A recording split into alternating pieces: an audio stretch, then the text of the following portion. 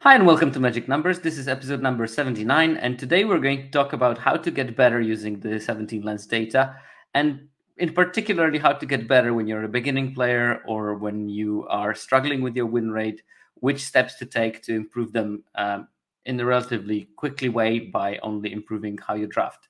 Now, this is not going to solve everything, and it's not going to tell you how to play the game because uh, a lot of win rate comes from the ability to play superiorly and have a better uh, sequencing of spells and, and better foresight of what opponents can be doing.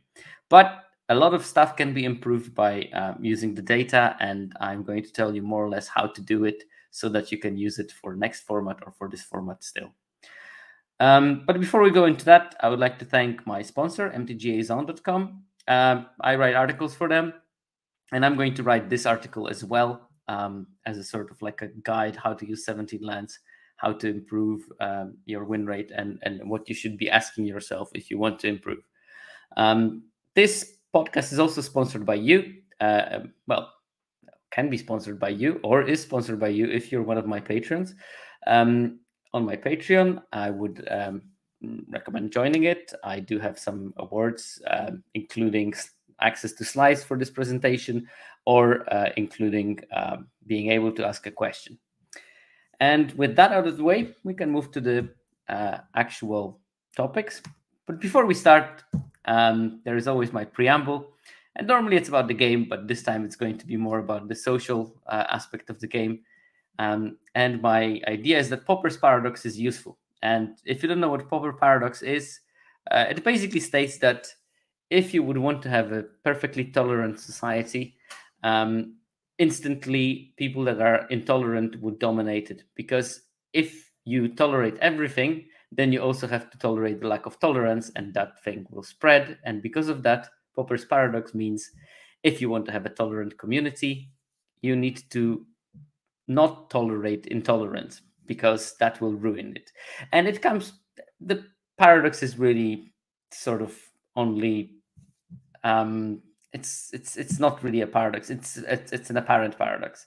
Um, what it means that if you have a system and there is some key element of that system, things that are against that key element uh, can't be um, can't be accepted because, of course, uh, accepting the thing that defeats the whole idea of the system is going to ruin the system.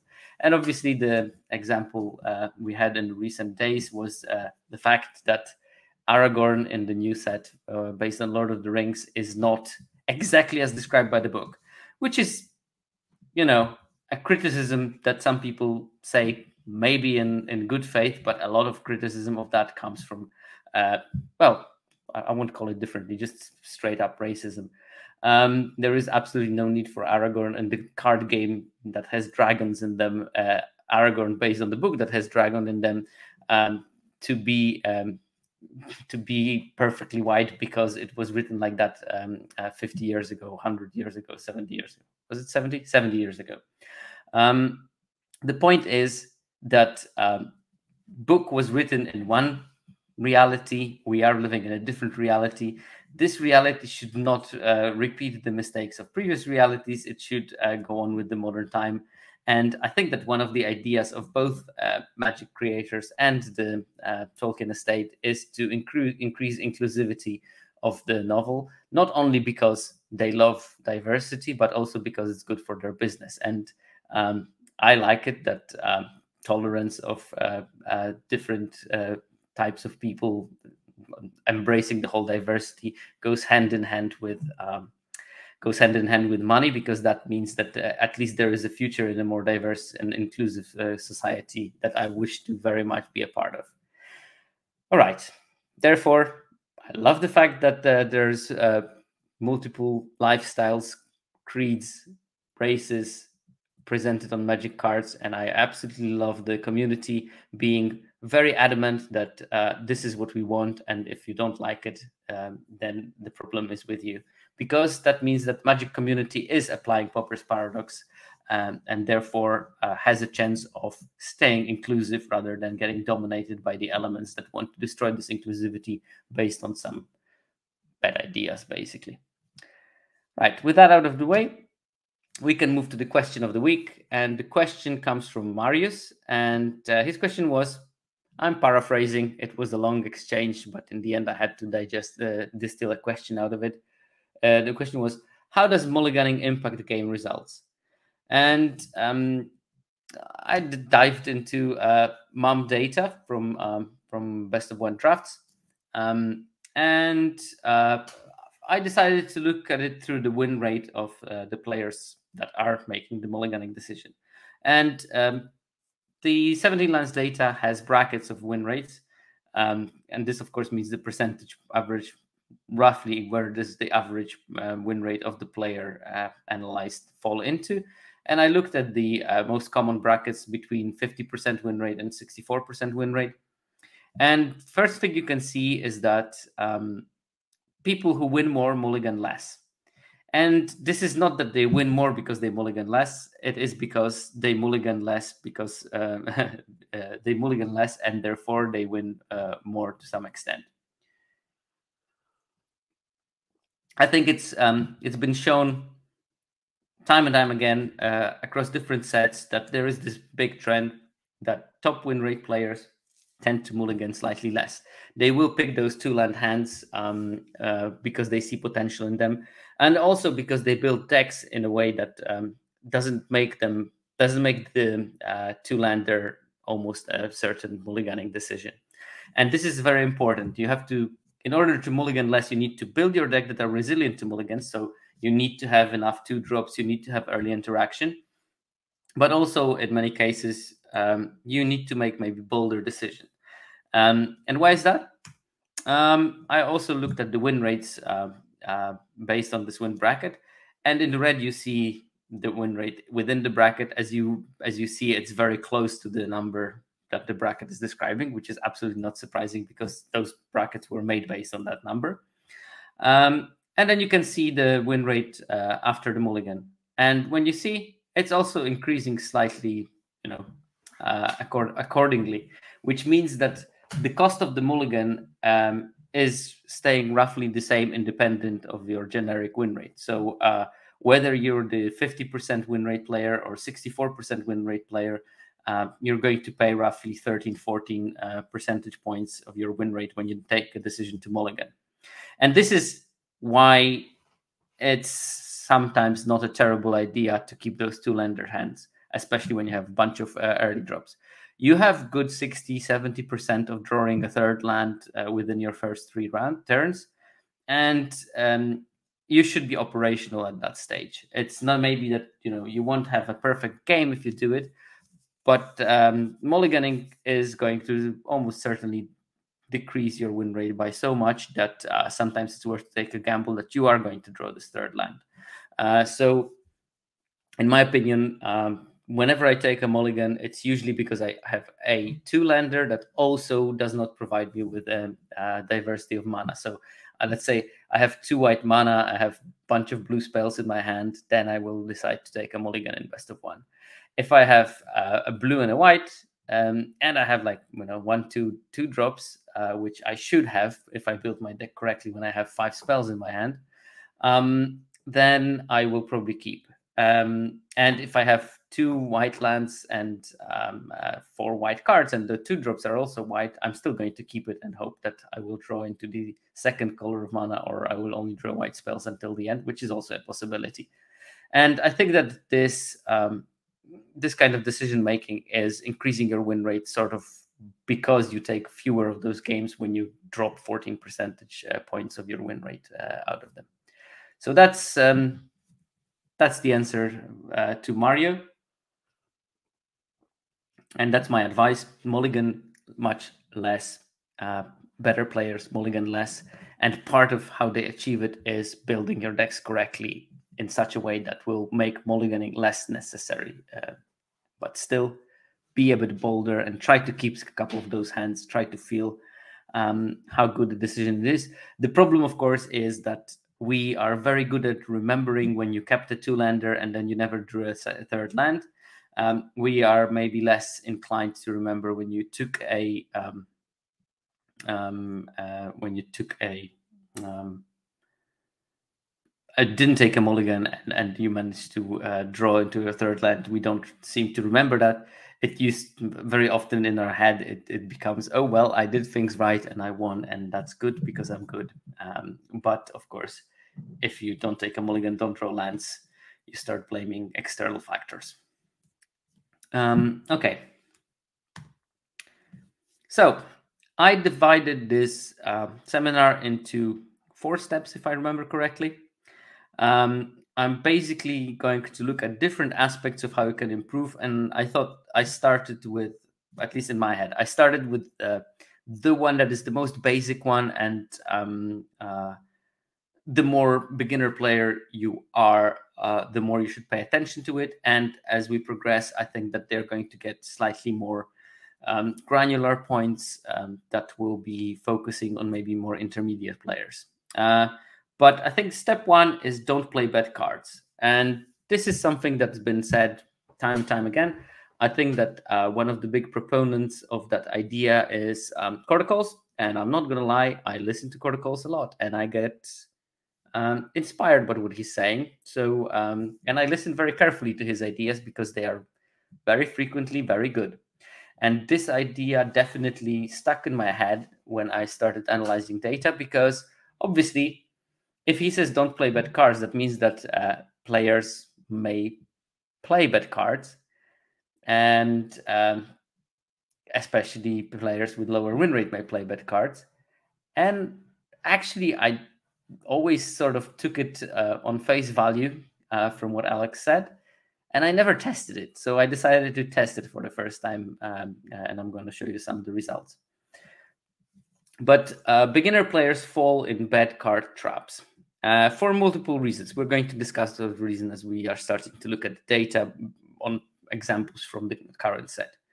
Uh, now, seeing which cards are plain bad is, I think, one of the biggest and easiest level ups possible in Limited. And if you are struggling with your decks, if you don't have a high win rate, um, then I think that would be the first step uh, to self diagnose, uh, in my opinion. It would be to look at what you're drafting, look at which cards you're playing, and seeing if you're playing the cards that are sort of bad uh, more frequently than you should. And uh, then possibly think about why you're uh, picking those cards um, and playing them. Because there, oh, again, might be a couple of reasons. And then bet evaluation occurs at two levels um, first at draft, and second uh, when you're building your deck. So first, obviously, is you pick the cards that are not good, and maybe you pick them too early. Um, maybe um, you, um, given a choice of two cards, you pick the wrong one because, um, again, we'll dive into reasons. And then, of course, the fact that you drafted the card doesn't mean that you're going to play it. Um, uh, but very frequently, those beginner players will put those cards in their decks for again, multitude of reasons. So um, don't play bad cards is an easy say, but how to actually figure out which cards are sort of bad and and and and um, how to avoid them. So um, first of all, um, the 17 Lands offers several options. One of them is the card performance uh, tab uh, on the web website, where you have um, uh, a table with a bunch of uh, parameters for each card. You got the rarity, color, name, uh, but you also have number of the cards seen and number of the card picked. Uh, and you have those two numbers. For example, Attentive Skywarden, uh, it was seen roughly 280,000 times. It was picked roughly 30,000 times. So uh, divide those two numbers by each other, you get like 12%, 11% rate of picking the card, um, which is not a lot. Um, then you have Boonbringer Valkyrie. It was seen 10,500 times. It was picked 8,000 times. So, you know, 70 something percent of the time the card was picked. Now, if you look at those numbers, you can clearly see that 17 Lands users uh, are high on the Boonbringer Valkyrie. That's a five mana rare. Obviously, the card is really, really strong. Attentive Skywarden is just a poor common. And because of that, it's not picked very highly. Uh, looking at those two numbers from the general group, um, you will probably not get into um, you will not get you know too deep conclusions, but you can actually filter the table by uh, category of players, and you can select top players, and these are players that have you know, roughly 60% win rate on 17 lands. And you can select um, the players with lower win rates, uh, which will be around, uh, off the top of my head, around 50%, I guess. And then you can do the same kind of analysis. You can compare the pick rate of certain cards by this top group and by this lower group. And by looking at those, you can actually start figuring out which cards are uh, evaluated highly by the um, uh, top players, which cards are evaluated highly by the lower group of the players, and therefore maybe try to figure out which are particular trappy kind of bad cards. Um, so in order to look at it, I looked at the pick rate between top and the bottom players, and um, I focused on the cards that the bottom players prioritize over the top players. So, for example, Invasion of Belenon, uh, top players pick it 10% of the time they see it. Um, uh, bottom uh, tier uh, players on 17 lands pick it on around 20% of the time. So there's almost twofold difference between how frequently uh, this card is being picked. This means that um, uh, the bottom players see something in that card, um, uh, and it's you know it's quite uh, apparent that they evaluated much higher than the top players. Now, obviously, win rate is not everything, but top players win quite a lot, and that shouldn't be discounted in any way. So, if you want to um, win more, and you do like to draft your invasion of Belenon, uh, you should probably think very hard whether you want to play it or not, and think why they don't play it and why they avoid it. I'm not saying that you shouldn't play it. In fact, my last trophy deck did have an invasion of Belenon, but there were some conditions that I had to um, fulfill in order to fit it in my deck. And one of them was having three Marshals of Zhalfir, which changes the equation a lot because instead of paying three mana and getting a 2 2 Vigilant Knight, very frequently in this deck, I played it, and uh, for three mana, I got a 3 3 Vigilant Knight. And of course, 3 3 Vigilant Knight can flip it much easier. Um, um, and because it can flip it much more easier, then um, I can get the benefit, and then my knight becomes even bigger, and there's like a bunch of stuff that goes on in there. But if you play it as a creature, a three mana 2 2 Vigilant Knight is not a very strong card. In fact, in the set, you have a 2 2 Vigilant Knight for 3 mana with backup 1 which means that its floor is a 3-3 Vigilant Knight, which is much better than Invasion of Belenon. If your deck is not built very well to flip it, and most white decks will not be built very well to flip it because, uh, as I showed in some previous uh, seminars, um, white decks want to kill very quickly, and attacking the battle is not a very beneficial thing for those decks because if they attack the battle, they don't attack the face. If they don't attack the face, they don't decrease the life total of the player, and their late game is really, really poor. And because of that, it's very hard to flip Invasion of Belenon and still win the game, even though you have this Anthem effect. And there is a bunch of cards that um, are overvalued by the um, um, uh, that that uh, are overvalued by this bottom tier of the players. I think that some good examples: Seraph of New Capenna, only seven point eight percent uh, picked uh, by um, by the top players, fifteen point seven by the bottom group of players. 7.8 is also like a significant uh, number. Everything below 12.5% means that um, uh, this group of players actively doesn't want to have the card, and other group of the player actively wants to have a card. So there is this dissonance between um, between those two groups of players. Why? Well, if you think about it, if there was a very very bad card, uh, let's say it's a card that says when you draft this card, you lose your next game Obviously, you don't want to pick this card because if you do, you will lose your next game. But if it's opened in the wrong spot of the table and no one is going to pick it, it will come back to you and you will have to pick it. Therefore, it, because it will randomly be opened across the table, if you have thousands and thousands of games, 12.5%, uh, so one eighth of the time, it will be opened in a seat that will force you to pick it. And because no one will pick it um, uh, uh, from those packs because they don't want to lose the game, um, you're going to be forced to pick it. That's for 12.5% is the sort of like a minimal rate of cards that no one wants. If it's below that, it means that you don't want to pick it, but someone else will. And uh, this means that the top players evaluate the in, uh, Seraph of New Capenna as a card that they actively don't want to pick, and um, uh, because the, the number here is so low. While the players that are in the bottom tier, they do pick it, uh, and they do pick it over that 12.5% uh, rate, which means that um, they are actively wanting to play that card, uh, at least in some extent. Um, what other cards do we have here? Invasion of Belenon and Invasion of Dominaria are uh, two white cards that just don't play very well in white decks because their plan is too slow for what those decks are trying to achieve in their good versions. Uh, Renata Call to the Hunt. Um, um, that is a card that just costs too much mana for what it does in this format. It's basically a um, four mana X3, where X is the devotion to green, which probably means it's like a 3 3, maybe 4 3.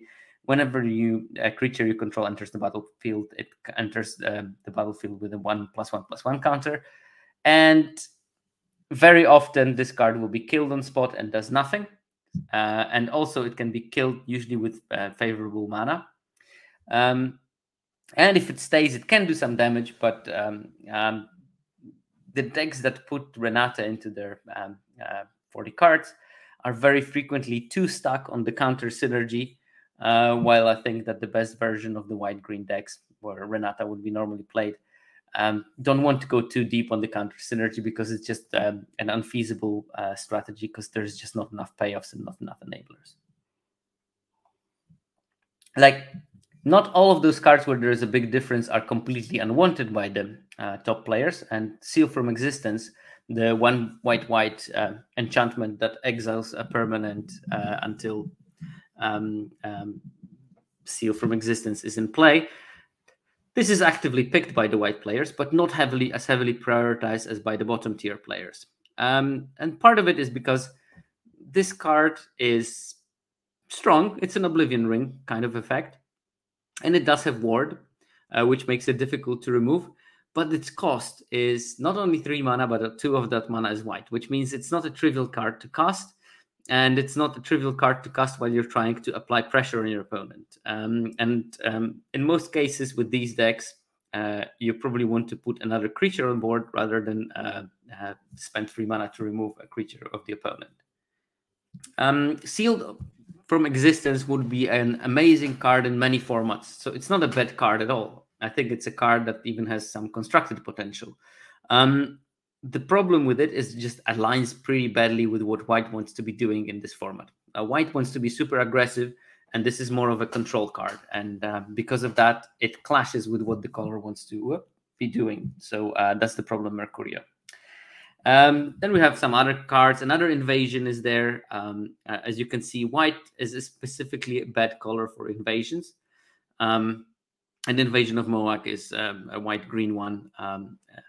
Where I think especially that card is just um, not very good. You need a very specific version of white green, and um, um, and uh, and it comes together very rarely. Uh, JPSN54 says most cards are white, which tells me white is overdrafted amongst bottom players. Um, I think that this is only a partial answer to it. Uh, these cards are not only white, but these are specifically cars that are white but don't fit with what white wants to be doing. And I think that this is even a bigger part of the problem. There is a bunch of white cars that pull in the direction of playing a longer mm-hmm. game, and white is just not strong enough equipped to play that kind of game in this format. And and and and top players realize it, and they focus on their um, aerial boosts and their free one uh, first struck knights, um, while the bottom players they might not realize how streamlinedly aggressive um, must white deck be in this format. Uh, and they try to go into those more mid-range slash control piles, and those things just do very badly because there is just not enough tools to help those decks. Um, Mercurio says uh, this makes sense. Red white seems to be um, very aggressive and would rather have combat tricks over removal spells, unless they are cheap, efficient ones like Volcanic Spite.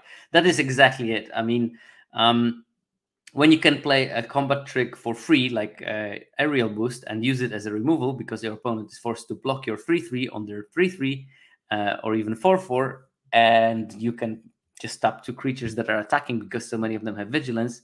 Um, that's a more efficient play and it kills the creature. Yes, they gain some life, that's fine. Um, aerial boost can also be later used as a killing spell. So um, uh, there is that upside of having it.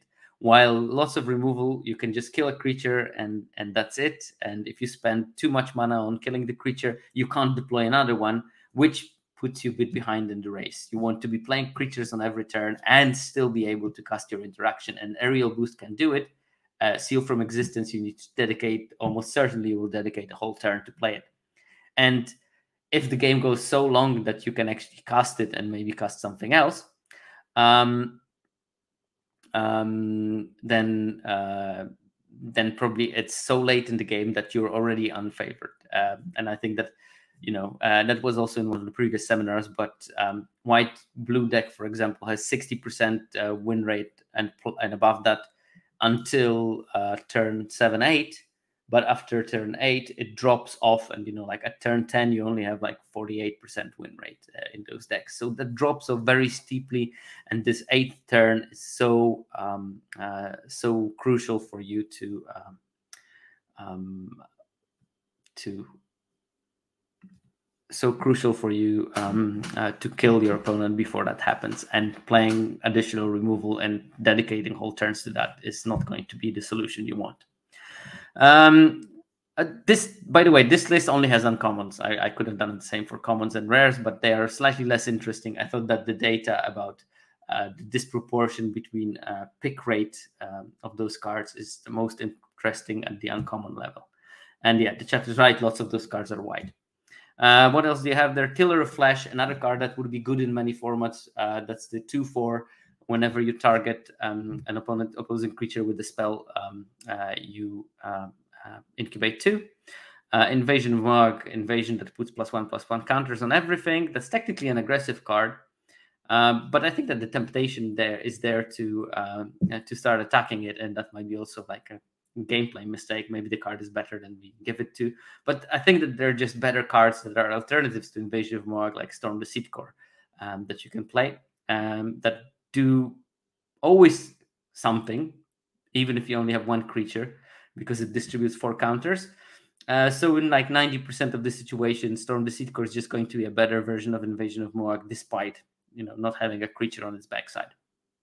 There's Daxos, um, which I think that um, beginner players are sort of seeing it as a two drop, but uh, actually, if you play your normal 9 8 split, you have 40% um, chance that you are not going to draw uh, two plains uh, by uh, turn two, which means that Daxos will very often become like a later um, uh, creature. It is good in racing situations against other aggressive decks, but it doesn't help you winning those mid-range uh, matchups or, or, decks that want to go long. It, it will not help you much because it's just a two two four two. Um, we have Harried uh, Artisan. That's the 2 3 haste that flips into a 3 4 angel. Is it angel? I think it is an angel um, with flying and haste. Um, that card is just not, not good enough, right? I think for this format, uh, it just doesn't do enough. And we have Elspeth Smite, um, which is a one mana deal free to target attacking or blocking creature. White decks, as I said, want to be aggressive, so very often this kind of removal is not great because um, it doesn't deal with the big creature, which are your main problem. It deals with small creatures, which you can possibly, you know, your deck should be able to trade for those and and, and still come ahead, or play a combat trick that has some other utility later in the game. Uh, the worst case scenario is that you know you you draw the Elspeth Smite uh, when you just needed an extra creature or an extra way to push damage. Now, if you draw aerial boost in the same situation, you can push damage because you can give something flying. Uh, if you draw Elspeth Smite in this situation, you have a pretty much useless spell, especially if the opponent casts something like a 6 6 or 6 5. Okay, so that's, that's the first thing. This is the mistake that bottom tier players pick certain cards, and these are the example of such cards uh, when the top players are not going to pick them.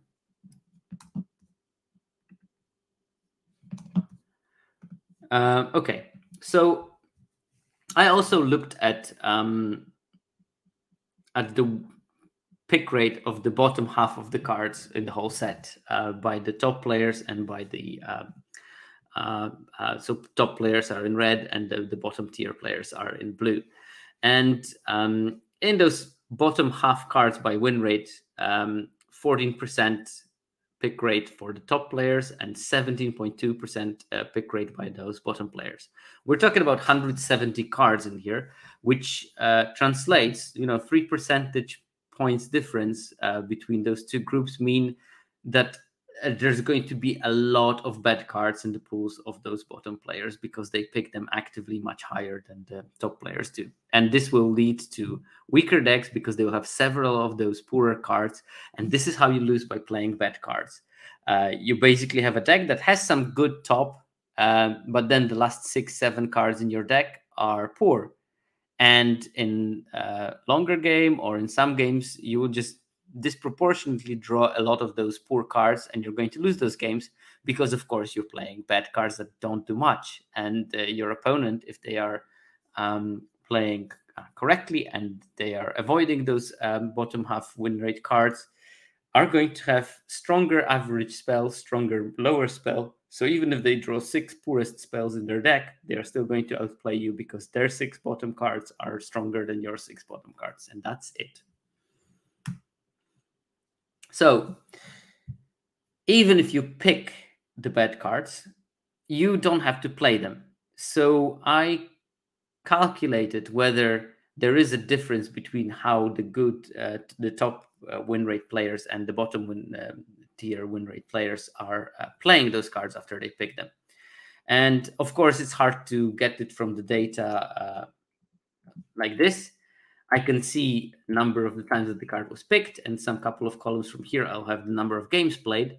But of course, people with 60% average game win rate uh, are going to um, are going to win much more just because they have a higher win rate. So they will see more games. Because of that, I had to normalize those numbers by the player group win rate. So basically, I recalculated this: uh, how many games you play by the how many times you picked for the top players as if they had the same win rate as the bottom tier players, um, which you know can be done easily by multiplying the um, number of games played by the fraction of average win rate in the bottom player group by the average win rate in the top player group, and then you get sort of normalization through that. So these are the cards where there's the biggest difference, and we see another time uh, the Seraph of New Capenna, uh, which in top player group is played two and a half games every time it was picked. Now, every time, um, even with 50% win rate, every kind of um, every time you pick a card uh, uh, and you and you play it, you play roughly five to six games with it. Let's say five and a half games with it if you have a 50% win rate. So um, this number here is uh, 3.5, which means that it's been played 3.5 divided by 5.5. So, you know, 7 divided by 11, roughly, you know, 70% of the time. Uh, and top player group, it's 2.5 um, uh, because I averaged the win rate to 50% roughly uh, by uh, by 2.5 by 5.5. So um, it becomes like 5 divided by uh, 11 uh, so instead of 70% we're closer to 50% um, so quite a big difference in how frequently are people playing and here is the bunch of cards that um, people uh, in the bottom tier play much more we have the seraph of new capenna copper host crusher the 8 mana 8 uh, 8 uh, hexproof creature um, eight mana is a lot. For eight mana, I want game winning effect, and this card very often is not a game winning effect. Um, Tiller of Flesh, another card from the previous list. Uh, Invasion of Dominaria. Ravenous Sailback. This card, Bribbleleck, is asking um, Is Ravenous Sailback bad? Yes and no. It's not bad in the sense like oh yeah the card definitely does a lot um, it can be an enchantment removal an artifact removal it can be a hasty threat and maybe a color that people don't expect haste from and therefore be able to flip a button but on the other hand it is a five mana spell and i think that especially in this format and this is, this is to some extent format specific especially in this format you want to have your five drops be much more impactful i would name maybe very few five drops at uncommon level which are playable in, in, in my decks. I will sometimes play Ravenous Sailback, but I'm not going to be super happy about it. Um, you know, I want my five drop to be a Glissa. I want my five drop to be a Sheoldred. Now, these are extreme examples of bombs, but um, the, these are the power of the cards that I aspire to, rather than um, uh, rather than Sailback. And as Infinite Breakfast, as Eric says, Sailback has been low floor and high ceiling, I think, but not quite worth it on average. And this is the thing that um, I think one of the problems with beginner players when they evaluate cards, they see the best scenario and they don't put proportions of good and bad scenarios in the right way. Um, so um, if the sailback is 10% of the time um, amazing and 90% of the time it's meh, for me, it's basically almost always meh. Uh, of course, if it was 50% of the time amazing and 50% of the time uh, meh, then I would reevaluate it and play it maybe more frequently. But it's not. Uh, in my experience, it's uh, quite a lot. Uh, most of the time, it's just an okay card. I think I, you know, I would prefer in my five drop slot to play something like Tangled Sky Skyline, which gives me five life, which produces a five five that I can flip for two mana and does quite a lot of things. Um, it's an enchantment that stays on board and lets me deal with flyers, uh, which is a great skill of this card, especially when I have a couple of Phyrexia cards. And Ravenous Sailback is just much, much weaker than that card. So I'm not going to go out of my way to pick it. And because I'm not going to go out of my way of picking it, I will also not go out of my way putting it in my deck. I will have it in my pool sometimes. I'm just uh, very rarely going to play it. I did play it because you, I think every card is on some kind of a spectrum of playability. It's just that uh, some cards should be played very sparsely, and some cards are actually for me a signal that something went, didn't go quite well with my draft. If I put a Ravenous Sailback in my deck, I probably did something wrong in my picks, or I tried to draft a color that was not fully open, and and and, and I'm going to probably pay a price for that. Um,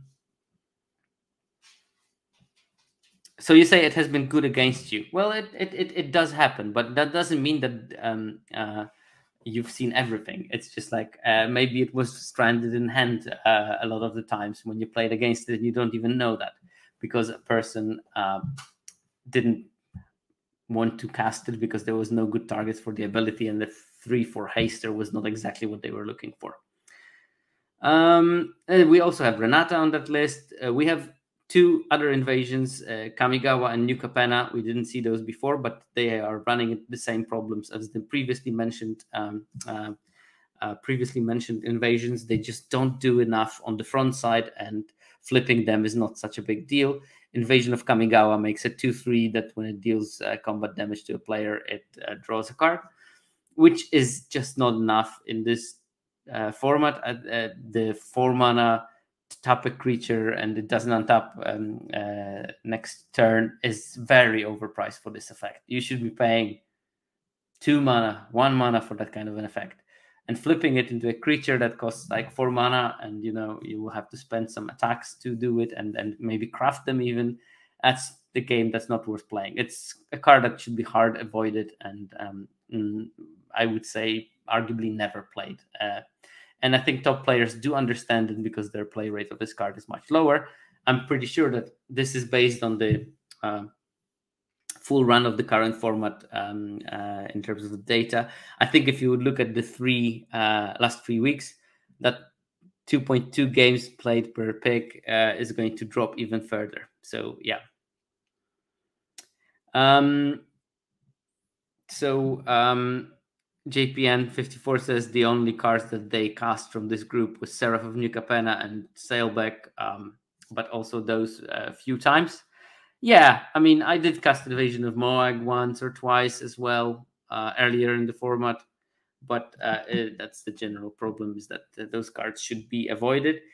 But of course, this is a specific example for this format. Um, if you want to do it yourself, you can go to 17 lands and you can look at the um, how often are cards played and look at the most played cards and maybe even a given archetype and look at the top players and the uh, bottom group of players and maybe see which cards that the top players don't seem to play but the bottom players seem to play quite a lot. Um, uh, are you personally uh, playing? And then maybe come to the conclusion that maybe i should be playing less of that particular card. Uh, that's my advice for uh, that particular group of players uh, what else do we have here? Harried Artisan, that also was in the previous list, and Invasion of Moag, and that also was in the previous list. And the fact that multiple of those cards were on both lists is pretty significant because it shows a systemic problem. Uh, because picking the worst cards more frequently and then also playing them more frequently compounds. So if, let's say, let's stick with this um, uh, Seraph of New Capenna, it was played twice more frequently uh, by the bottom players uh, than by the top players, picked uh, twice more frequently. And then still, when you look at this data, it was still roughly 40% more played once picked um, and, uh, than by the top bottom players than the top players. Um, so if you look at both of those things, you have twice in the other one, and then you have another 40% from uh, frequency of the play. Uh, so two times um, uh, 1.4, which will be something like uh, two and a half times uh, more likely to see Seraph of New Capenna on the battlefield if you look at the deck of um, of a bottom tier player than of the top tier player, and that's quite a big difference. Um, and I calculated this kind of ratio for um, all the cards, and think two biggest offenders: Jin-Gitaxias Core Augur um, it's been over eight times more frequently played by the bottom players than the top players. And Seizan, Perverter of Truth, that's also eight times more played by the bottom players than the top players. Here we have first of the big traps of the beginner players. They look at the rarity symbol, and a large part of their evaluation is through the lens of that um, uh, rarity symbol, and also maybe rarity slash um, uh, power and toughness. They will look at this. Oh, this is pretty big and uh, and mythic. That therefore it must be great. Well, Jin-Gitaxias is 10 mana, lose the game. That's basically the ability it has because you have to draw seven cards every turn. And if you do it for two, three turns and don't kill your opponent, uh, you're going to mill yourself out. Seizan is the similar thing. It is a thing that you play. It's big it gives opponent two cards because they can draw two cards and lose two life. Um, and then if they deal with it on the same turn, they ended up using a removal, killing the big creature, and drawing two cards and losing two life. That's a good deal for them, not for you. Uh, because on that exchange, you probably spent more mana. Uh, you both lost the card, so you're net zero on cards, but you didn't draw anything, and you know you, you didn't lose two life. Hooray, hooray! Um, and then you have a bunch of cards that are like this, like Vorinclex, Voice of Hunger, another pretty poor mythic rare from the uh, Multiverse Legend slot. It's just 8 mana, 7 6. The second ability is not that important, and um, you should be playing it. Um, you have the Copperhost Crusher, the 8 mana Rhino. It's a big creature, even has trample, but still, 8 mana is quite a lot. Um, so, um, uh, so you will very often die with it in your hand. Uh, Firesong and Sunspeaker, that's a white red card that is not enough powerful and doesn't have enough synergy in this format to be to be really good. Um, another card that um, uh, low win rate players seem to love is Yargle. That's a four more, over four times more frequently played than um, um uh, by the bottom tier players uh, than top tier players. Atraxa's Fall uh, bottom tier players play it four times more frequently than um, uh, than top tier players. Uh, just doesn't align with the format enough. Uh, if you need it as your interaction, then probably you drafted something wrongly, and um, you should have had better interaction in order to go into particular colors, or maybe you didn't prioritize the interaction high enough, and um, because of that, you end up in a deck that sort of forced to play this Atraxa's Fall, but the card is just not good. That's the problem um, of interesting cards. Infected Defector. That's a five mana knight. It's a four three dies into it. Incubate three three. This is just not enough uh, rate for the cost that you have to pay for it. it's a knight with technically knight synergies, but it's just too expensive if you want to end your game on turn seven. You'd rather be double spelling on turn five rather than playing the infected knight, uh, infected defector. You will play it on occasions, but uh, but you shouldn't be playing it frequently.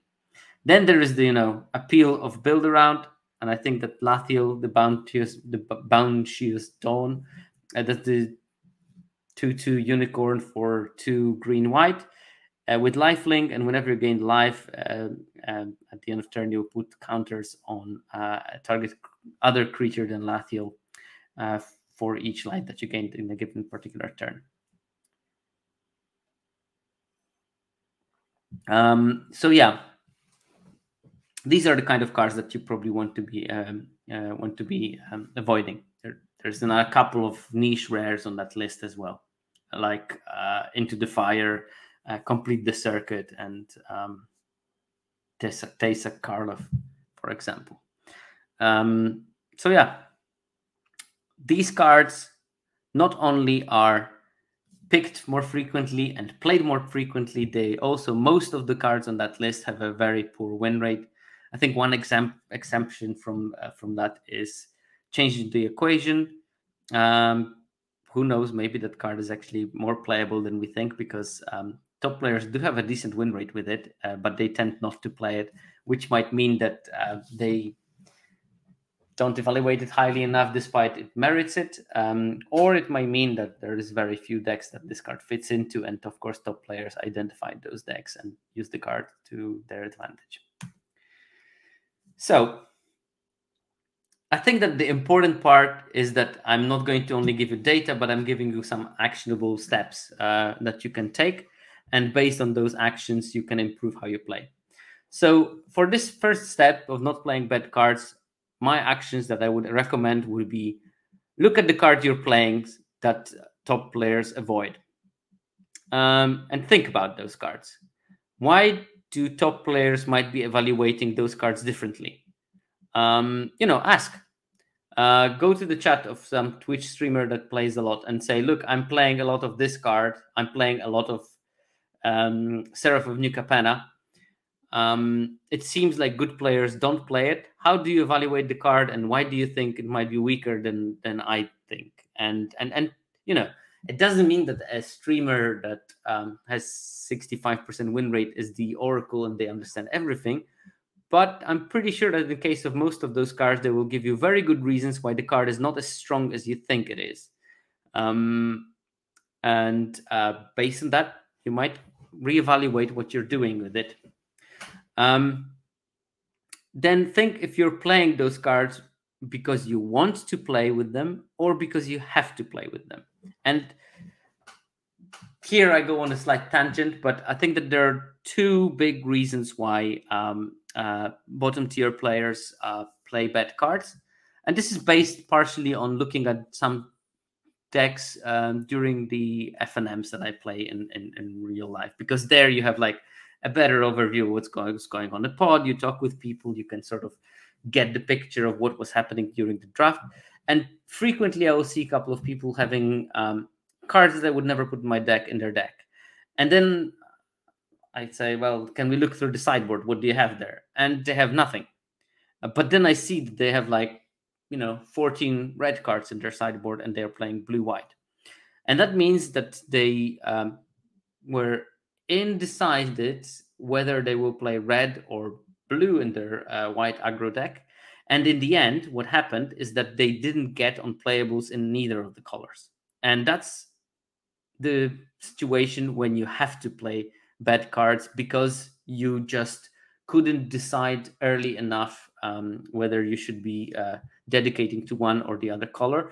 And then maybe the pack three didn't align just as perfectly as you thought it might be. And you end up with just a shortage of playables. You have to play those bad cards.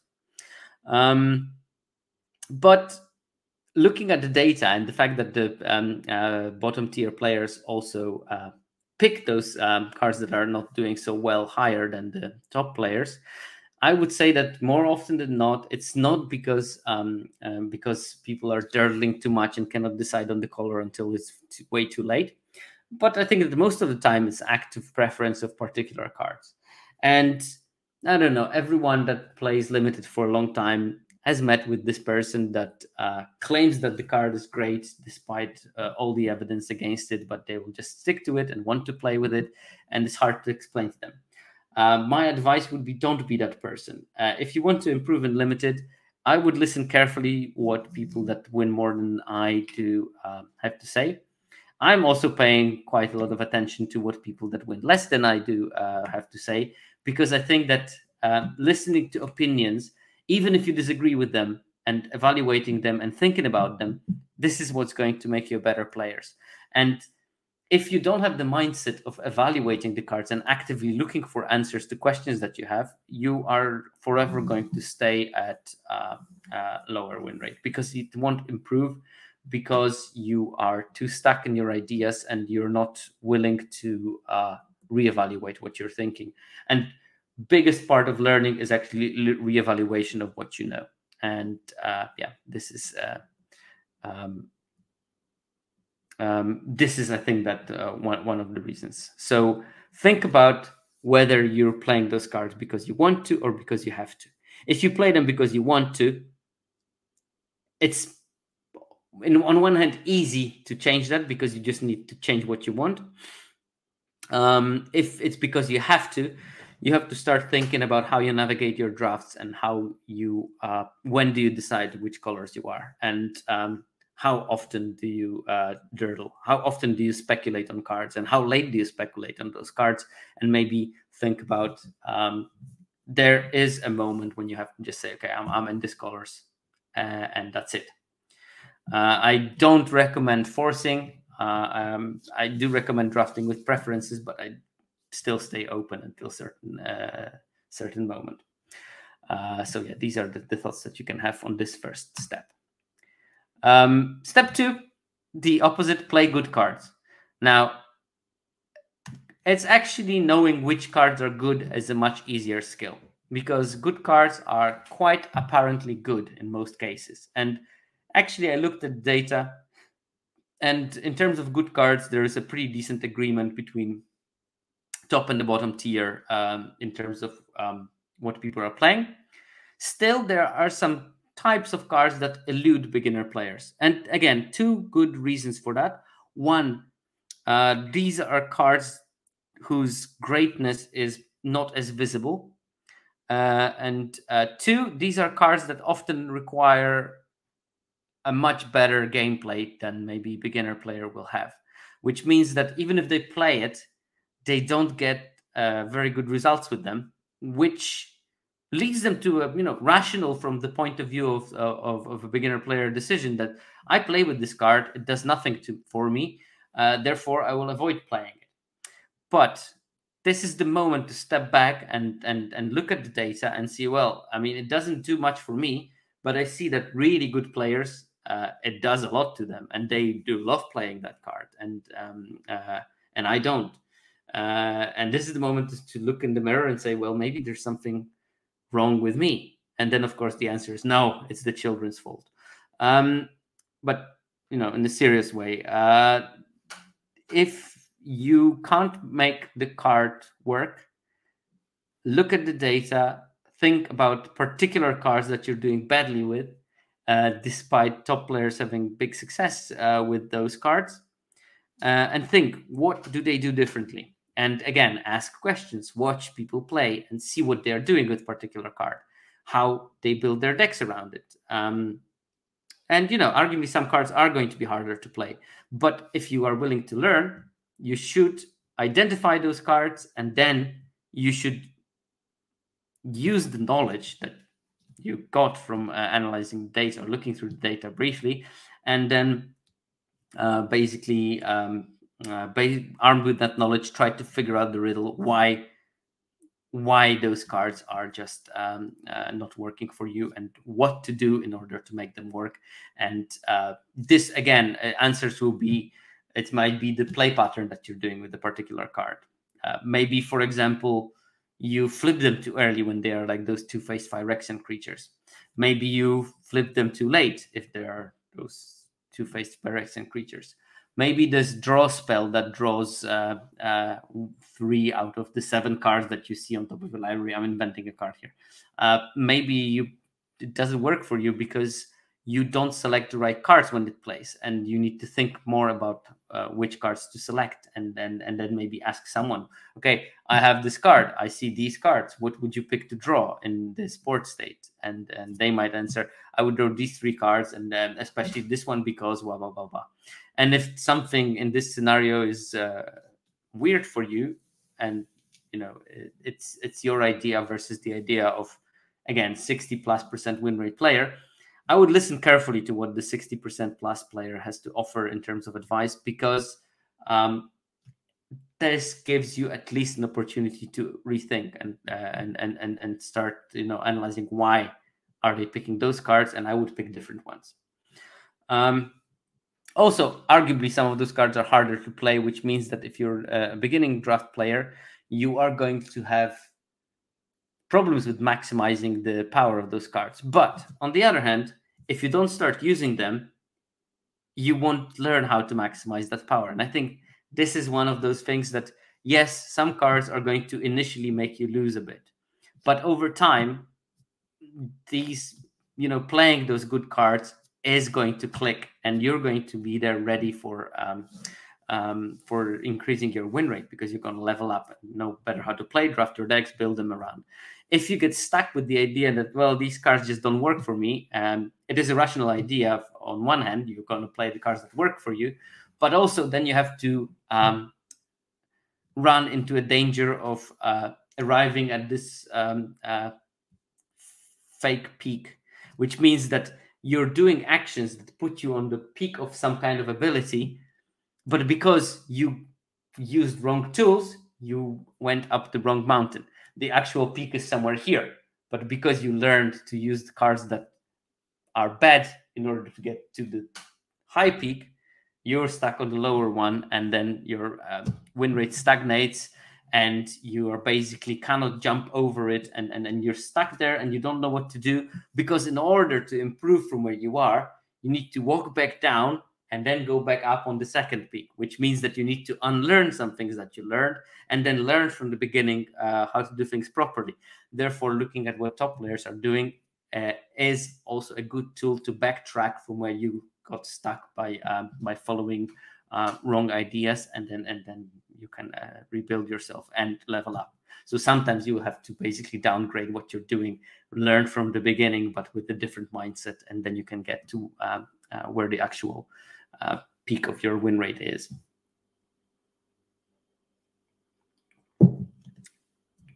Okay, so um, here are some cards that um, no, I, have a, actually a very good question from Super Gonzer. Um, do good players explore more at the start of the format? Um, no, and yes, it depends. It depends on the player. Uh, I know some good players who will explore a lot in the beginning of the format. I also know a lot of uh, good players that will abuse weakness in the beginning of the format. So um, there are sort of but there are many groups of players and we are all diverse and uh, beautiful and in the ways that we are but there's a bunch of players that um, will start playing the format and will say okay blue black is open i'm just going to play blue black and they are good technical players they will have an amazing win rate um, and they will win a lot uh, there is a big group of players that say oh it's a new format i'm going to learn all um, I can about this format and draft diverse decks. It will hurt my win rate, but it will be a learning experience and going to be fun. I'm not a good player, but I, I definitely belong to the group of exploring players. Um, I don't like forcing the deck and playing it always the same. If I have like a goal of, um, oh, I want to be mythic something, um, I might apply that kind of strategy because I would just, uh, I just, I just, I just I just need to win a bunch of games. I'm going to play quick draft, force the same deck over and over again, and then um, uh, learn everything that there is for that particular deck. It's not a bad idea to do that because um, in in quick draft very often can um, can almost force something, And if you want to go really deep into a particular archetype, that's not the terrible thing to do because you can make those subtle changes in your builds and slightly tilt the balance from aggressive to more mid-range um, based on what you're drafting because you have such big choice of doing that that you can actually master one particular archetype and understand it much better. You know, now and then I do that just to, you know, pinpoint what are the most like important things. I particularly remember liking doing that in AFR uh, Quick Draft because you could build your uh, red black um, and sacrifice deck in multiple ways. You could go more into the treasure synergy, ramping up very big things very early, or you could go for the steal and sack uh, package, uh, or you could go for like super aggressive uh, aggro decks. and all of those strategies were valid and I wanted to explore them. So I played like, I don't know, 10 quick drafts and then just like played around with those ideas and got my idea of what I want to be doing in the format. Um, uh, but of course, uh, in the normal format, I would like to draft diverse decks. And uh, I mean, every time I'm drafting a deck, I'm trying to test some kind of a hypothesis. And sometimes it's testable, sometimes it's not. But I like to do that. And uh, that's why my favorite format was Ikoria I drafted it a lot for my standards. I probably had like 100 something drafts. I had like 40 trophies. And I think that out of the 40 trophies, uh, there were 28, 30 archetypes among them. So every time I drafted slightly differently, and there was so much to uh, to be building around, and those pockets of synergy that could be assembled as sort of like modular blocks between different types of decks. I loved Discovery in that format, and I was just definitely exploring. But in the same Ikoria, there was a bunch of players that were just hard forcing um, uh, red white cycling deck with Zenith flares, and they had amazing results with doing that. It's just that I think that a bunch of those players, after the format finished, were only capable of drafting this white red mm, cycling deck and and not much else. Uh, while I had like a wider range of decks that I was capable of drafting in the format. So yeah, long story short, it very much depends uh, whether they explore or whether they uh, force uh, the most powerful combination. And both of those strategies have their benefits. Um, JPSN 54. Um, I believe the better players identify the bad cards of the bad. A chunk of those bad cards, yes, but a chunk of those bad cards, no. I think that good example from um, from the previous slides was uh, uh, Invasion of Kamigawa. I think that that card was played much, much more in the first week, uh, also uh, among the best players. Uh, but they quickly figured out that the card is not good. So it's not always that you see it like in the first couple of drafts, but you know, give it two weeks and good players will know that this is a bad card and they will probably avoid it like a plague. While um, um, uh, beginner players might not have that insight because partially maybe they play less, uh, but also um, I don't know. As you play more, you learn to ask yourself questions continuously in order to improve uh, because you wouldn't jump certain levels if you didn't ask those questions. And I think that that's what um, um, more experienced players do better. It's the more introspective and and and, and more analysis of what they're doing and, and, and what can be done to improve their uh, play. Right, so here we have the cards that uh, the good players are overplaying by quite a lot uh, compared to the um, um uh, bottom tier of 17 lands users, and I think that the card that is most overplayed by the uh, by the good players is uh, overpicked, not overplayed, overpicked, picked picked much higher. And I think that the card that uh, top players are picking much, much, much more than the uh, than the bottom tier players is the Captive Weird. It's a one mana, one three defender. Uh, it has three and a red, Phyrexian red. Uh, to flip it into a three three, you exile the top card of your library, and you may play it until the end of your next turn. This card is just a house. It is good in aggressive deck because it's a one drop that can become a three drop. It gives you card advantage, whatever. Uh, it can be used to convoke spells. Uh, so, like, uh, you know, some people play the uh, blue white decks where they play turn one Captive Weird or some other one drop, turn two um, Halo Hopper, and they have like a sort of three to two drop. Um, or they can use it to flip attack the battle, draw a card um, uh, because they have low curve usually they will be able to cast that card. But also equally, this card is really good in controlling decks like blue black. You play the Captive Weird, it defends very well early because it's a 1 3. Later, it flips into a threat, it gives you a card. Uh, maybe sometimes you won't even have to pay two lives. Uh, so there are lots of small things that make this an absolutely great card. Uh, but it's not very apparent just how good this card is. When you have to think that it's basically four mana, three three, draw a card, uh, which is um, Sarulf's Packmate, which was the best common in Kaldheim. Um, and also you can split this mana on many ways. And um, and it also comes as a creature instantly unlike Sarulf's Packmate so it can do the blocking much earlier. It's absolutely phenomenal this card. And i think that its quality might escape the more um, uh, the, the, more um, inexperienced players. And that's why we see this uh, uh, what is it 28% uh, pick rate for the uh, bottom tier players and 50% pick rate for the uh, top players. So like 30 percentage points of a difference between how the top players and the bottom tier players pick the card aggressively. We have a bunch of other cards from the blue black and blue white kind of um, situation. Art Atris, Oracle of Half Truths, amazing card, draws you one or two cards, which uh, with with some selection potentially. Um, on a body that is you know three two menace is actually pretty decent for four mana for four mana when it comes with with a card or two. Also, not a card that is uh, easily identifiable as um, as great. Uh, but also, I think that uh, top players are going to pick cards that are in the best archetypes much more frequently because of what, what we were talking with Super Gonzer. So, um, uh, good players uh, forcing good color combinations because they know them. And I'm using the word forcing here, um, which I know is a controversial way, uh, good players leaning to play the best colors because they are a best color for for a good reason. Of course, ironically, the top players they have much flatter win rate across the archetypes, and they win as much with, um, with the, what's considered bad archetypes as they do with um, good archetypes, uh, which also makes it you know more difficult to analyze because you have to think then that oh well this this color is really bad. It has like four percentage points lower win rate.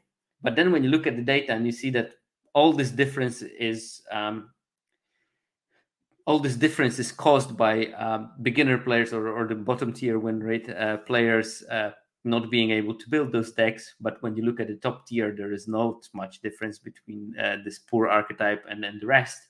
Uh, you probably should reevaluate: is this really a poor archetype, or is it just like more difficult to play archetype, and maybe the archetype that can have a strong version but does not come together very often? Um, and that's a question that is a tricky one to answer, actually. Uh, but what do we have more? Skyclave Aerialist, that's just another, this is a very similar card to Captive Weird and has very similar stats. Two mana, two one flyer is just a very good rate uh, in this format, especially when you have some battles uh, lying around. Uh, and then and next card on the list is Invasion of Amonkhet, exactly this. If you play Sky, Skyclave Aerialist and then Invasion of Amonkhet on turn two, you flip something big on either graveyard. You can start bashing the Invasion of Amonkhet because you know that soon you're going to flip it. And if you flip it and there's something like super powerful in the graveyard, uh, even though you're going to lose a couple of life by doing this attack with your aerialists, um, you're you're going to still stabilize the game because you're going to flip into an 8 8 or something, or like a 4 4 flyer double strike lightning. Uh, Artistic Refusal, the six mana counter spell with Convoke. Um, that's a card that will definitely benefit uh, from ability to play well. Uh, good players know when to expect something that needs to be countered.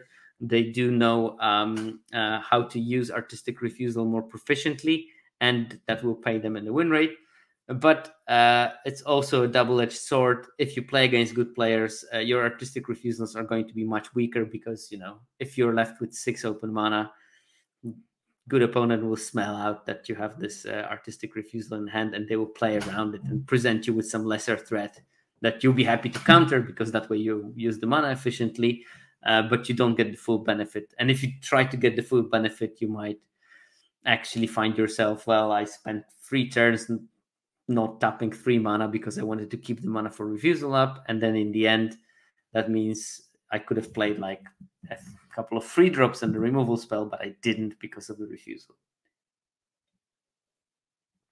Uh, preening champion, that's obviously the best common in the set, and uh, top players do recognize it. And you know, like the bottom tier players also do recognize it, but to much lesser extent. They don't prioritize it as highly. And this has something to do that um, with um, with maybe knowledge of the format. I do know that um, there is a much stronger correlation between the color pair win rate and what top players are drafting than between color pair win rate and what uh, bottom tier players are drafting. So those beginner players they will draft sort of random decks in a way they don't position themselves good in look i'm going to make those first couple of picks as if i was drafting the strongest deck it doesn't mean that i'm stuck to draft the strongest um, deck on paper um, it just means that I want to give myself a chance to be in that deck if it's open. Uh, and if you do that, then frequently it will be open and you have a good deck. And if it doesn't work, you pivot to something else that you can identify, see strong signals, and then uh, uh, get rewarded by uh, by being vigilant to the fact that the strong archetype that you wanted to soft force is not available. You move on to something else, and you get a good result. Rather than maybe you know I unfortunately I don't have that data, but I would say I'm pretty sure that the beginner players are going to be more likely to um, uh, to stick to their first pick, while better players are going to be more likely to abandon it. Uh, what else do we have? Ephara's Dispersal, Yorion, Eyes of Gitaxias, all of those are staples in like blue black, and I think that, uh, and to some extent in blue white. Uh, sort of leading me to think that uh, a bunch of those differences are caused by the fact that um, good players are indeed forcing, well, forcing, soft forcing uh, most powerful color combinations uh, more. Um, and uh, in the set, the top combinations of colors that you could draft was white, blue, and white and blue, black.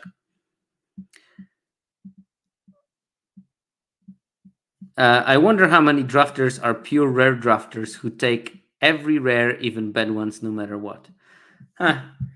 I don't know. I mean, the, this is an analysis that is possible. Uh, uh, yeah, maybe maybe someone will have that as a patron questions at one stage, but I actually don't know. Um, I'm an opportunistic rare drafter. If I see a dra- rare late and I don't need anything from that pack, I'll pick it. No problem.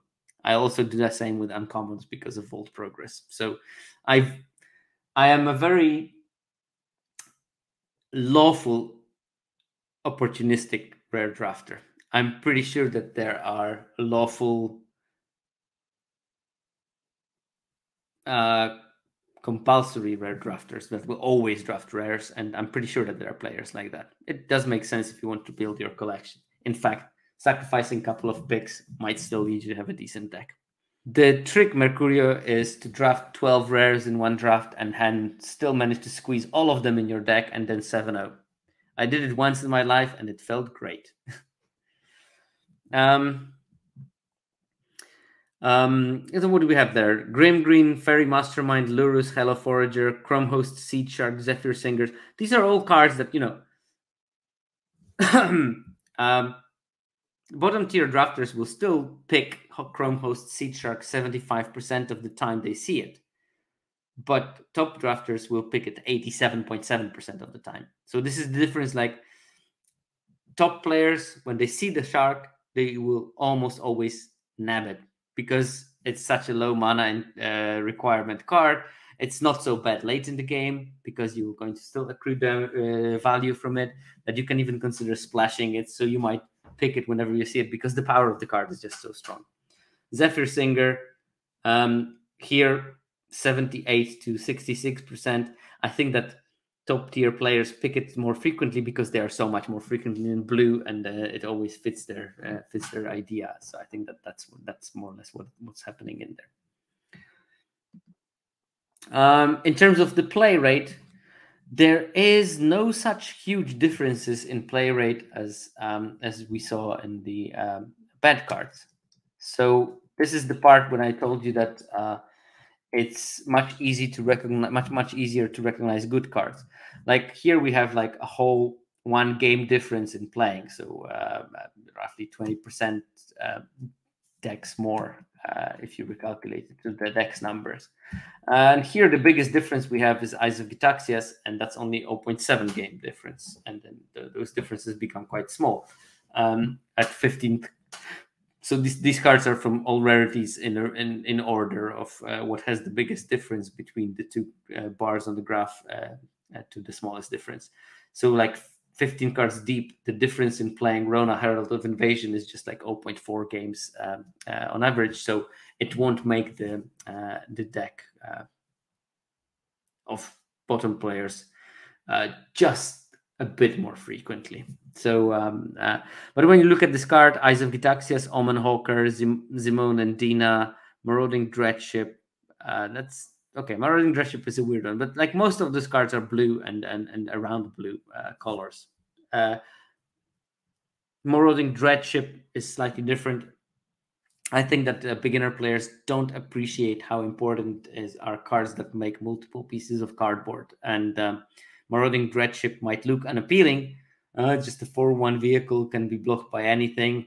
Um, but it's not that only. It does um, it does generate this incubate token, which is great for some decks, and uh, it can induce some artifact synergies, which actually are present in this um, archetype. And also, it combos very well with um, Tetsuko Umezawa, the fugitive, one card that also is on this list that um, top players are playing uh, more in their decks. Because, of course, Tetsuko is a 1 3 that gives unblockability to creatures with power or toughness equals 1. Uh, Dreadship is a 4 1 um, vehicle. So with Tetsuko, you can just basically crew it every turn and swing for four unblockable, and it's great. Um, we have Baral um, Transcendent Message, the uh, blue, blue, blue, blue, blue X uh, draw spell with Convoke. Uh, Borborygmos and Fblthp. Here, again, you need to splash a bit uh, most of the time, but Borborygmos is in green and it's a very good card and i think that top players do uh, um, identify it. And we have like a bunch of other legends here. Atris again, Tetsuko Umezawa, Hidetsu and Kairi, Ingaruna is Jin-Gitaxias, and Rona, Herald of Invasion. All those cards um, uh, played more by the by by, by the top win, winner player. Um, uh, uh, uh. Where was IZEA MTG? Did I miss them? Oh, IZM MTG definitely does that. Five color soup. Uh, yeah, and five color soup is also like this is a deck that will be definitely um, uh, uh, good players will just do better with it because it's tricky to build mana base. Decisions are difficult. Usually you're on the back foot, which is also something that the beginner players are not going to be happy with. So there's parts of those things that getting a certain skill level will open archetypes to you that are previously not open.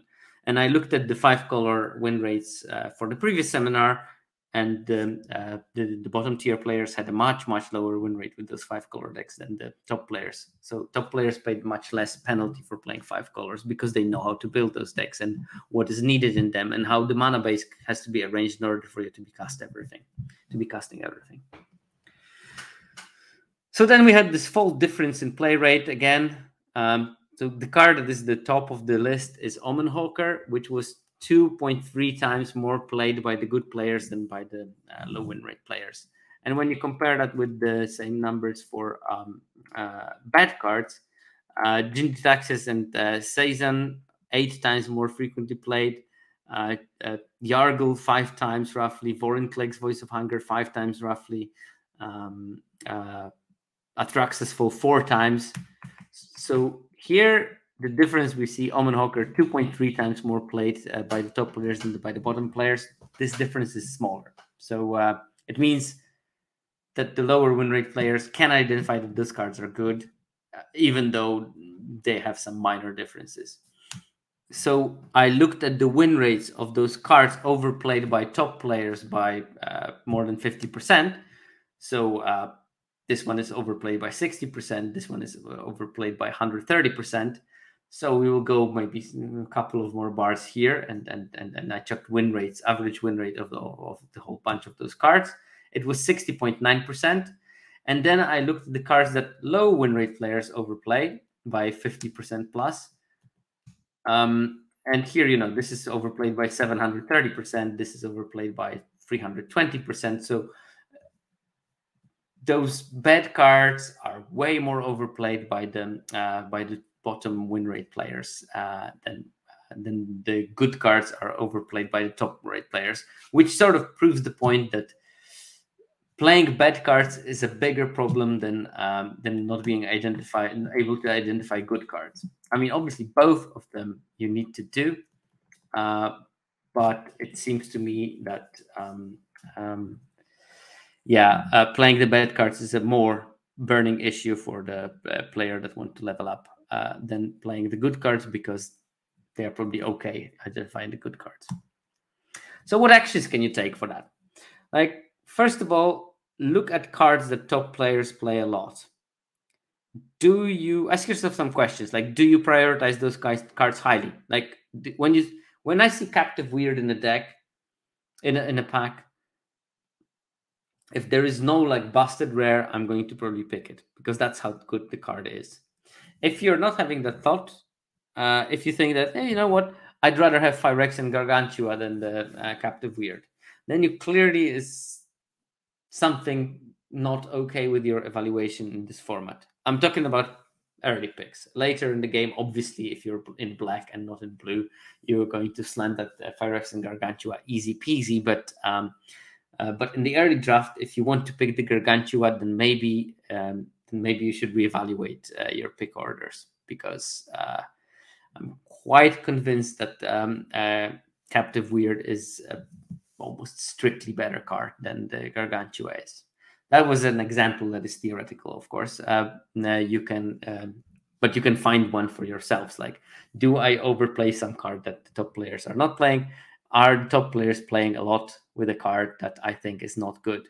And if that's the case, you might want to think either you're doing something wrong with the card, um, uh, you're building the decks maybe not accordingly to what the card is needing, um, or maybe you don't maximize the card's utility because you just don't play it 100% right.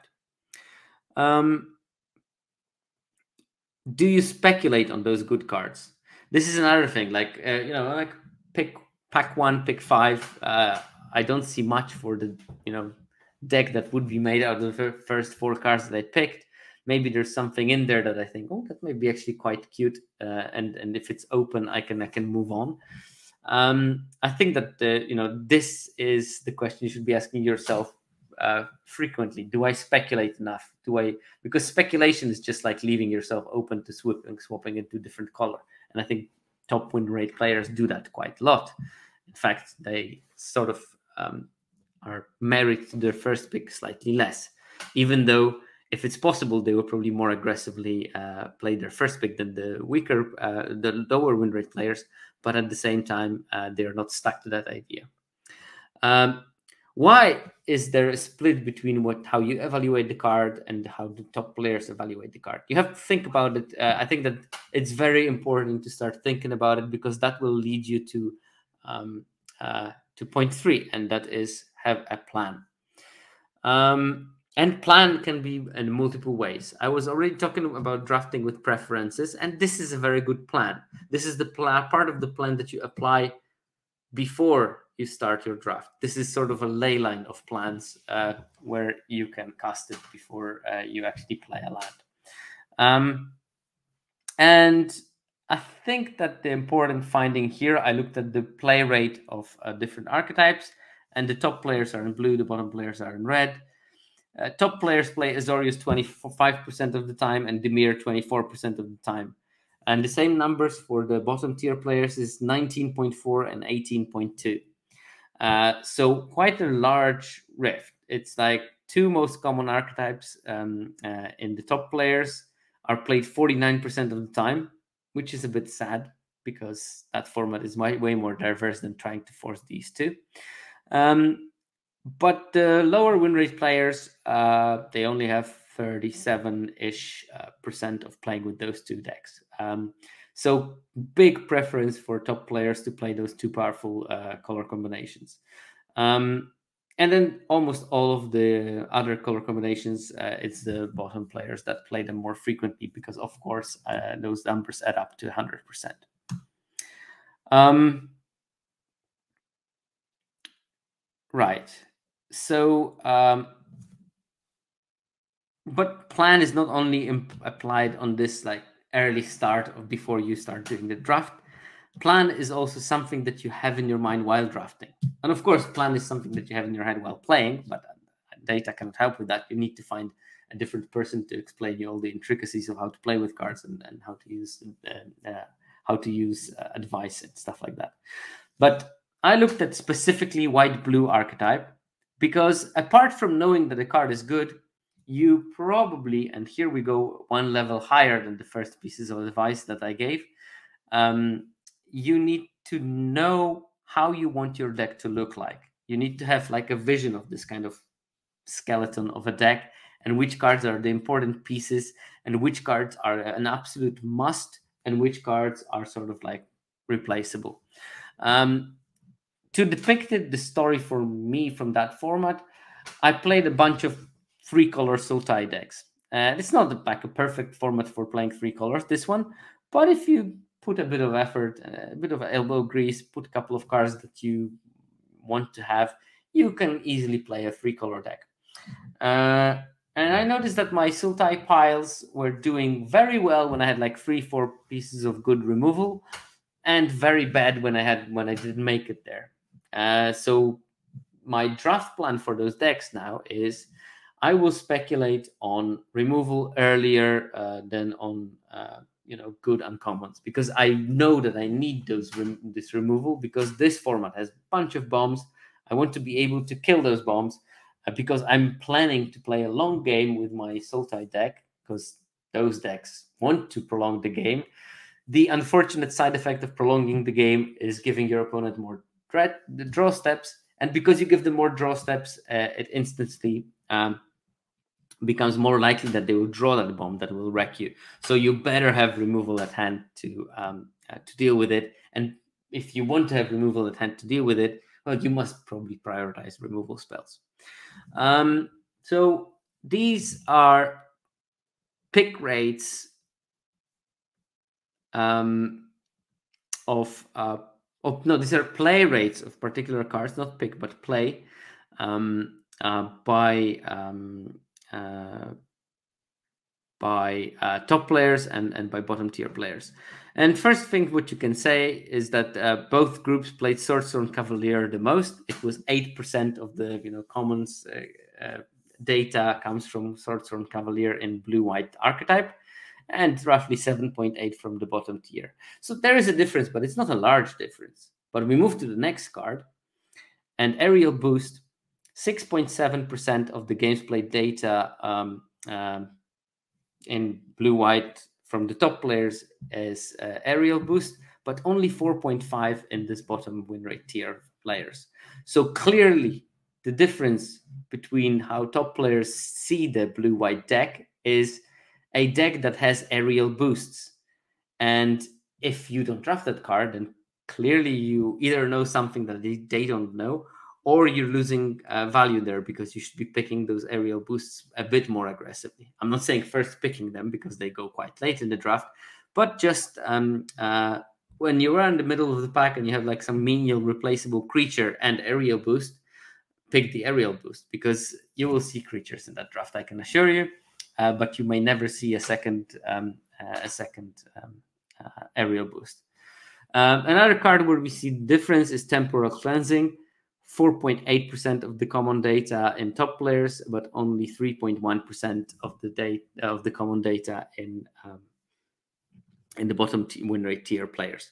So temporal cleansing offers you quite a nifty interaction spell that is also good in control decks and also good in aggressive decks. In aggressive decks, you can just like push it out and and, and go face, and the opponent is still you know a couple of turns from recasting the thing and using more mana to do so.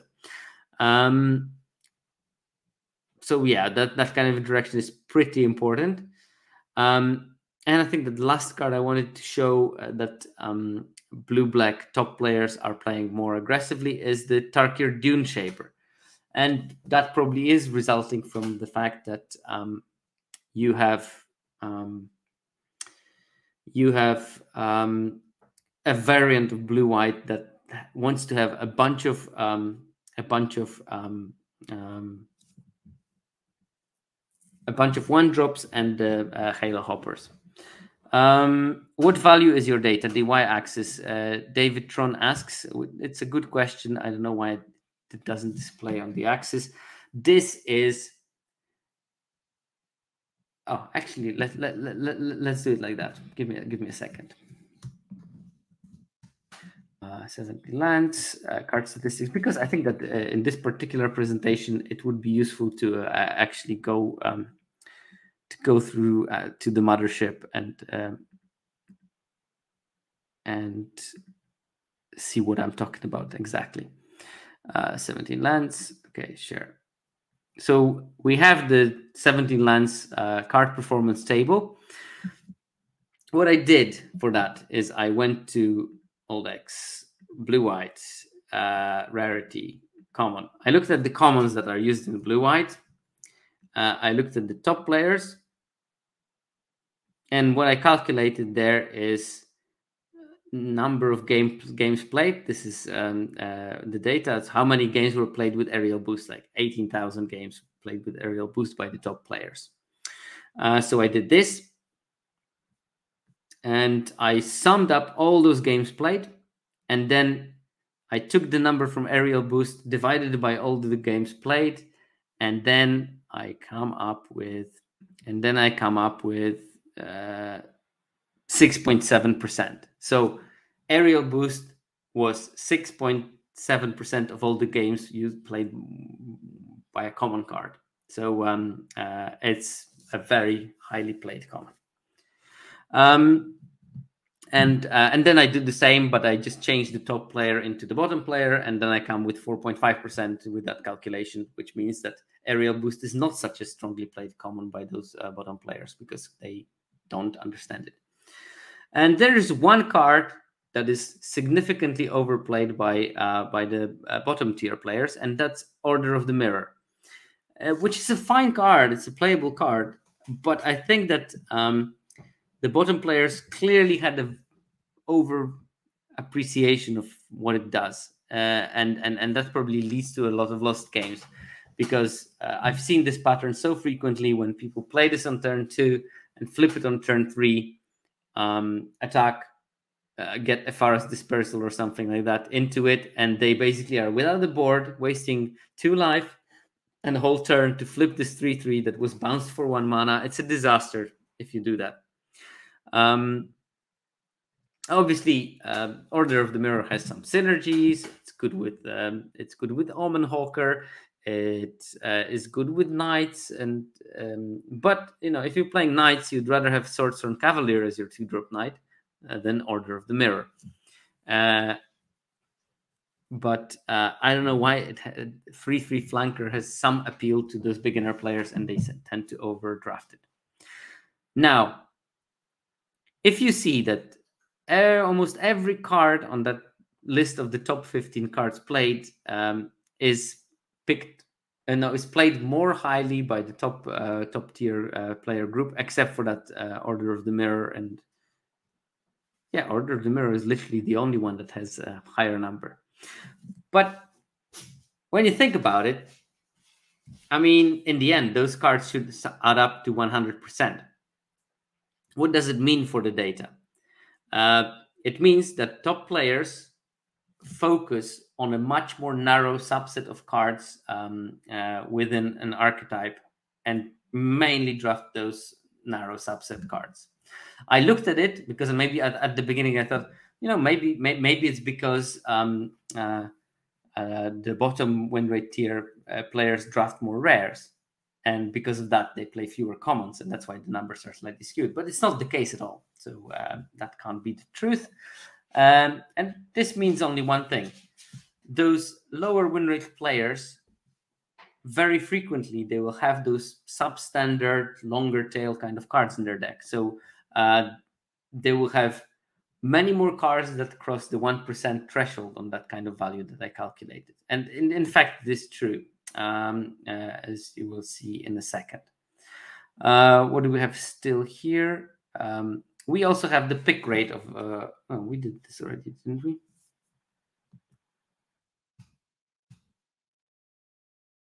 Uh, this is the play rate uh, of the color. This is the uh, play rate of the card. And there's also differences in, in the pick rates within the archetype. And in the white blue, top players have a prior high priority of, of, of several cards and that includes Preening Champion which is picked 60% of the time people see it uh, versus 6, 46 uh, for the bottom tier uh, win rate tier players. Uh, Eyes of Gitaxias, uh, top players pick it roughly a third of the time they see it. Um, um, uh, bottom win rate, lower win rate players pick it roughly 20% of the time, so 13 percentage point difference between those. Uh, Ephara's Dispersal, top players prioritize it very highly, 42% of the time they see it, they pick it. Uh, but it's only 30% for the uh, lower win rate players. And, you know, maybe a couple of other cards worth mentioning that have roughly 10% differences. Uh, Ephara's Dispersal, um, that's not Ephara's Dispersal, sorry uh, temporal cleansing, um, uh, Saiba Cryptomancer, and uh, meeting of minds. Those cards are more valued by the by the top uh, top tier win rate players in terms of picking them in a draft. Um, so yeah, uh, when I said that all those cards from the top um, uh, top played commons in in, in blue white um, have higher value in top player group than in the bottom player group. And the reason for that is that top players play a narrow uh, collect selection of cards that only you know only 24 of the commons are present in over 1% of the games uh, uh, well not not 1% of the games but uh, you know they take up 1% of the played games um, in terms of lower win rate players it's 31 commons that do over 1% of the games and then there's still like a bunch of cards that are under one that is also more in, in the group of um, uh, in the group of uh, uh, lower win rate players. So this means that uh, lower win rate players use a larger variety of cards, and what this means is that obviously not all the cards are good. This brings us back to the situation from the first step. Uh, people display too many of the bad cards, and uh, again we can only speculate is it because of the want of playing those um, uh, not so good cards or is it because of the need of playing them? Because uh, you can't just draft um, uh, a coherent deck because you dirtle or because uh, because you wasted some picks on i don't know what. Maybe even rare drafting um, and you know that doesn't seem like much. The 24 commons in over one percent of the games versus 31 commons over uh, in over one percent of the games. But those things accumulate again because that means that you will play maybe two bad cards, maybe three, maybe four bad cards uh, in your deck because your plan is not good enough. It's not consistent enough. You're picking those cards all around the board while top players know exactly. Look, if I'm drafting white blue, I want to have these cards. I want to have Marshall. I want to have uh, a two drop that is a three one. I want to have uh, mm, aerial boost. Uh, um, I want to have maybe one interaction spell uh, like temporal cleansing. Um, and I want to have a bunch of knights or or, or a package of um, uh, Halo Hopper and uh, and bunch of one drops, and they know that, and they sort of pick it. Hey Arstal, uh, our roles reversed. Yesterday I was in Arstal's chat. Now he is in mine. There we go. Um, which, by the way, recommend recommend his stream. Uh, uh, it it was it was a lot of fun yesterday. Um, and thanks for the raid, obviously. Um, so uh, so yeah, because you have the streamlined pool of cards that you want to build in your deck, your deck are going to be much more consistent and therefore are going to win more because they they are focused. And the lower win rate players are all over the place. They are playing cards that shouldn't be in those decks, possibly. Um, and especially like late in the format, um, uh, when we know more or less how a white blue deck should be looking at, those top win rate players are super streamlined, while the lower win rate players are slightly all over the place.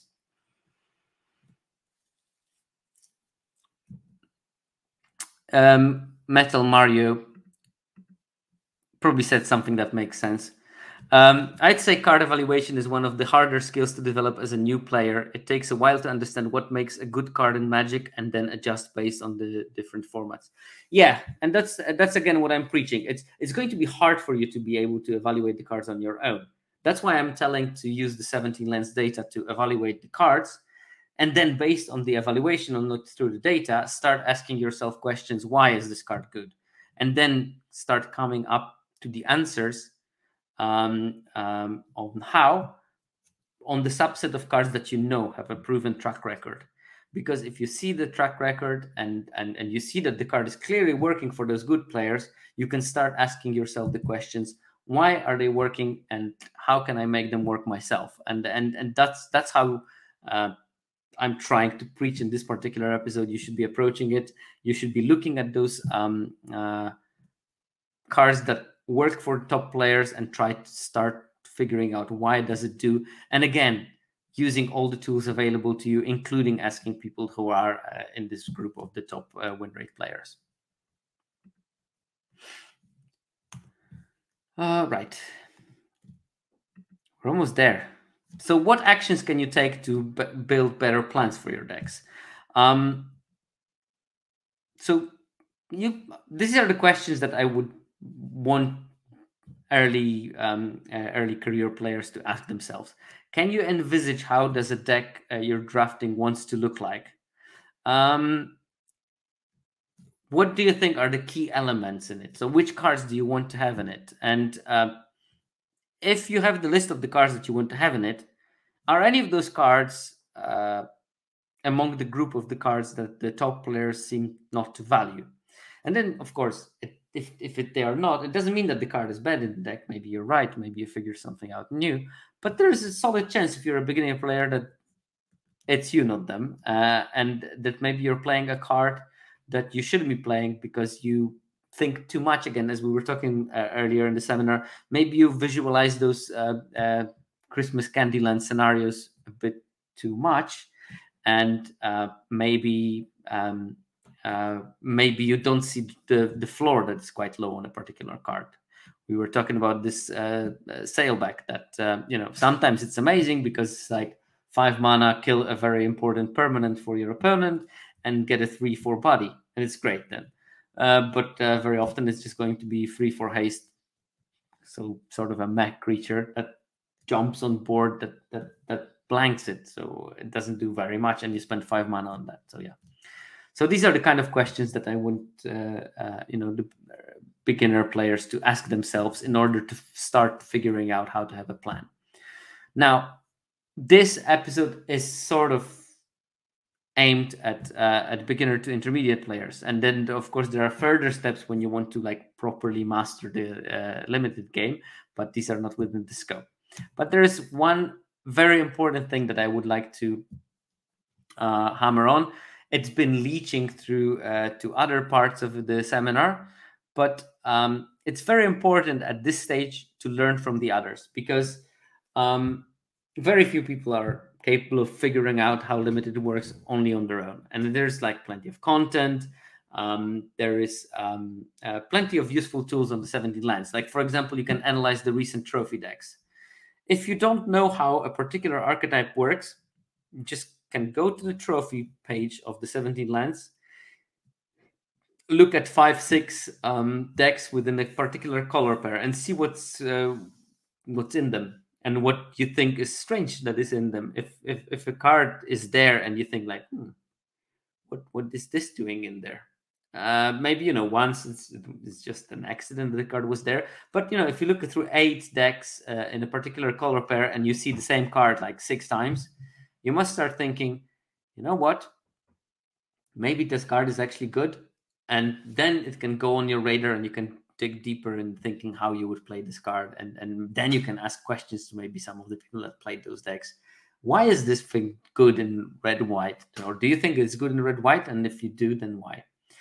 Um, I would say look through other people's gameplay because data can help you. 17 lands can help you, but it won't teach you how to play the game it won't teach you the correct play patterns. It won't teach you those small things like reading what the opponent has in their hand um, um, sequencing your attacks learning when to play your removal spells figuring out that instant doesn't mean you have to cast it at the end of the turn of the opponent. You can cast it on your turn as a sorcery. No problem no shame with that if that you know if that gives you additional insurance against a counter spell for example um, say watch play streams if you want to get better. I think that uh, Corticals is like very good stream to learn how to um, how to play. Um, Numot the Nummy is a very good stream to learn how to play. Uh, just Lola Man is good, but probably if you're already like intermediate at least. Um, Ham TV is good if you're like sort of intermediate at least. I think that um, some of the concepts that Ham is selling are, are, are are maybe too advanced if you're a beginner. But I think like Chordicals and Numot, I think are great streams to learn. Um, and so to an extent is uh, Ethan and um, Mr. Metronome Ben Warney. Uh, they're all really great for learning how to do that. So yeah, I would I would recommend those uh, those. And plenty of other streamers. Just uh, just find the one that is is your jam and try to learn. Uh, and ask for advice. I think that um, the gathering part of Magic seems to be working also online. If you don't know how to build a deck, tag people on Twitter. I'm happily tagged, um, you know, a couple of times every week uh, uh, in someone building a deck and asking for last cuts or some advice. Um, and you know, sometimes I give it, sometimes I, am just tired and I just ignore it. Uh, posting games from 17 Lands to look uh, through the review of your gameplay. That's also an excellent feature. Um, uh, so yeah, use those tools because uh, uh, learning everything on your own is not easy and and very often will defeat the point. Um, yeah, and that was the last step, I think. So I would like to acknowledge the 17 Lands team because obviously lots of my content is based on the 17 Lands data um, uh, stuff. Uh, Viral Misnomer, especially, and Alebalini ZTM, uh, they work pretty hard to make everything work. Uh, there's a bunch of other people involved, and uh, you know all of them are putting in hours to make sure that everything is tip top. I would also like to thank Fake Jake Brown, uh, who is helping me with the release of this in a podcast form, as long as I push myself to send them the audio files. Um, and I would like to, of course, thank mtgazone.com for sponsoring me uh, and for publishing my articles. Uh, it's a great fun to write those things up because my sort of semi-chaotic seminar uh, can be streamlined into a more polished form uh, in, in writing. And um, yeah, I would also thanks uh, like to thank my patrons um, uh, who are supporting me and um, you know not only financially but the fact that i have a question of the week uh, from uh, from from certain tiers of my patrons is also helping me to um, to maybe ask myself questions that i normally wouldn't do. Like for example last week's episode about uh, five color uh, decks or two weeks ago uh, episode uh, about five color decks because last week i was doing limited resources.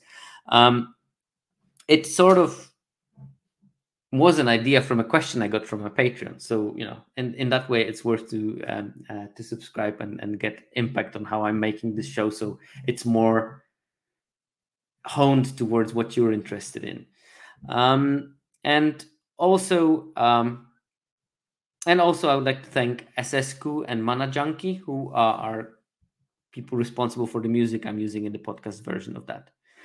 Um, and with that, I'll see you next week.